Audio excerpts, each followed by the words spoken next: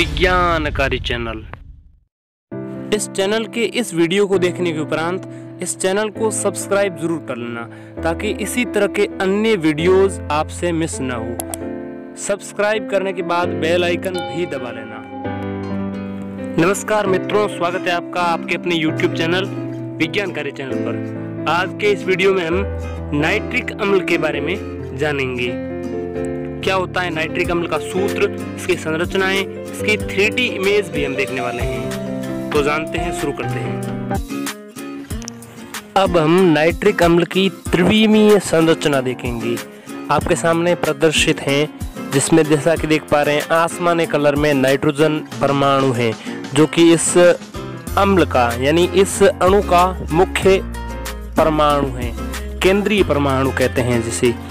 इसकी संरचना वास्तव में ऐसी होती है, जैसा कि आप अभी देख पा रहे हैं। नाइट्रिक अम्ल HNO3 की जो वास्तविक संरचना होती है, जिसमें एक एच होता है, एक एन होता है, और ऑक्सीजन के तीन एटम्स जो कि लाल रंग में दिखाए गए हैं, वो इस तरह से आपस में जुड़ करके इसकी त्रिविमीय संरचना का निर्माण करते हैं। HNO3 की थ्री डी इमेज भी अभी हमने देखी है। तो अब आज और हम क्या क्या जानने वाले हैं? नाइट्रिक अम्ल का रासायनिक सूत्र क्या है? इसका भौतिक गुण क्या है? और इसके उपयोग, इसकी अभिक्रिया के बारे में आज जानने वाले हैं। तो जानना आरंभ करते हैं।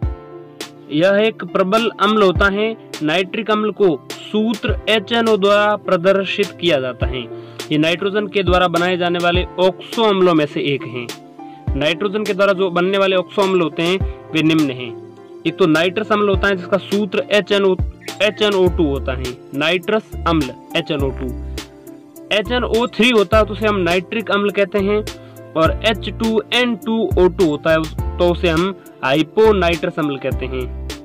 H2N2O2 इस टॉपिक में हम नाइट्रोजन के ऑक्सो अम्लों में से केवल नाइट्रिक अम्ल के बारे में विस्तार से अध्ययन करेंगे। नाइट्रिक अम्ल का सूत्र, इसकी संरचना।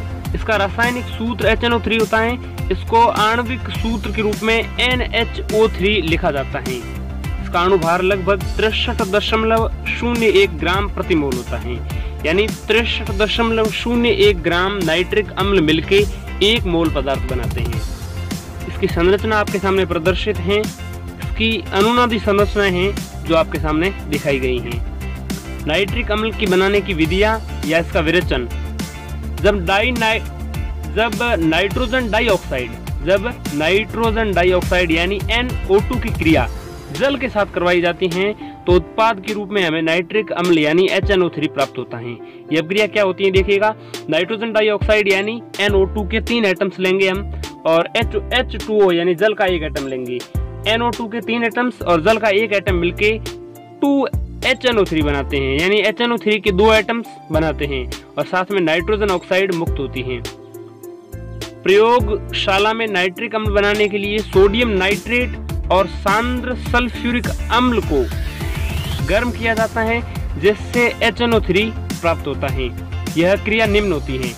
NaNO3 NaNO3 यानी सोडियम नाइट्रेट और H2HO4 यानी सल्फ्यूरिक अम्ल। और जैसा कि बताया मैंने सोडियम नाइट्रेट और सांद्र सल्फ्यूरिक अम्ल लेते हैं। तो NaNO3 के साथ H2HO4 की क्रिया करवाते हैं तो बनता है NaHSO4 और साथ में HNO3 बनता है। नाइट्रिक अम्ल HNO3 को व्यावसायिक रूप में उत्पादन करने के लिए निर्जलीय अमोनिया का ऑक्सीकरण किया जाता है।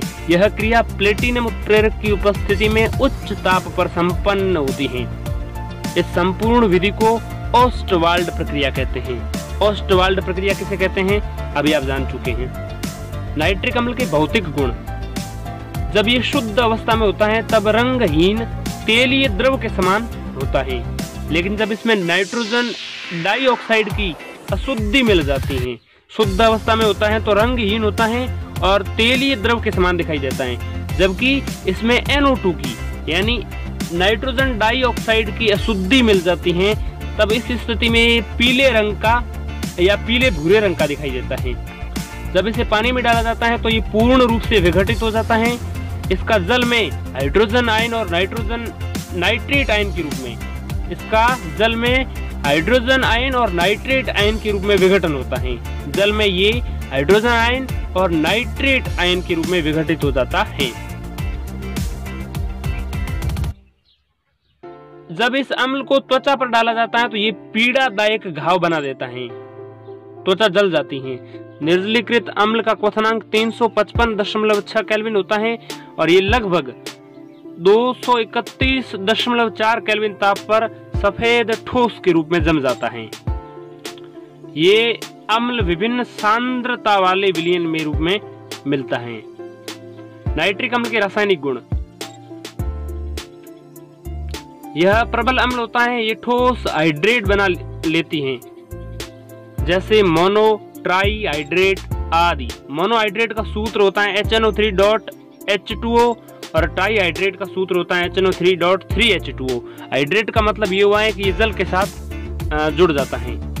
जब नाइट्रिक अम्ल को प्रकाश या ऊष्मा के द्वारा अपघटित किया जाता है तो ये अपघटित होकर NO2 नाइट्रोजन डाइऑक्साइड और ऑक्सीजन बनाता है। इस अपघटन की अभिक्रिया निम्न प्रकार से बताई जाती है। एच के चार आइटम्स लीजिए तो ये दो जल के अणुओं में और चार नाइट्रोजन डाइऑक्साइड और ऑक्सीजन के रूप में टूट जाता है। यह प्रबल ऑक्सीकारक की तरह काम करता है। प्रबल ऑक्सीकारक की तरह काम करता है यानी ये पदार्थों का ऑक्सीकरण करता है। और हमें पता है जो ऑक्सीकारक होता है, उसका, उस खुद की अभिक्रिया में उसका खुद का अपचयन होता है।